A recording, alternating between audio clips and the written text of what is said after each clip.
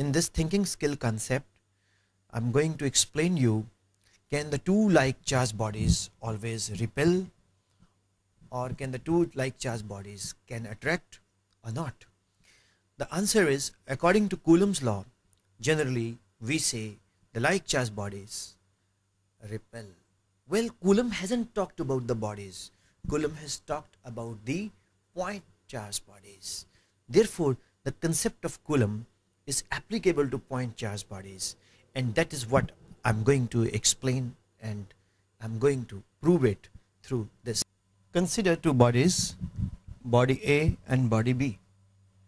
They are like charged, carrying plus q charge each. Body A and body C carrying the same magnitude q but they are unlike charged.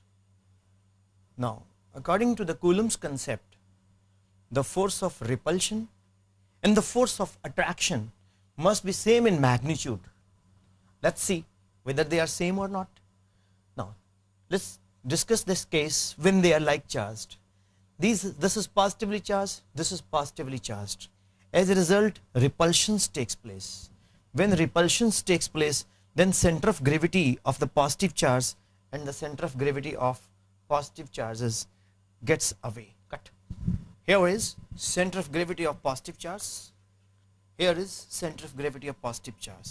Now the distance between the center of gravity of positive charges is r1 obviously r1 is greater than r.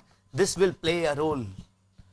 Now here center of gravity of positive charge and negative charge will come closer. The distance is r2 and r2 is less than r. What do you find? According to coulomb force is inversely proportional to r square.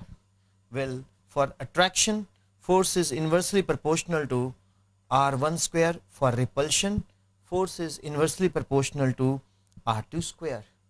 Clearly r2 is less than r1 Therefore, force of attraction is greater than force of repulsion.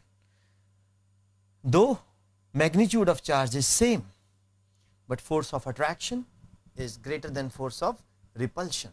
Conclusion, Coulomb law is applicable to point charges only.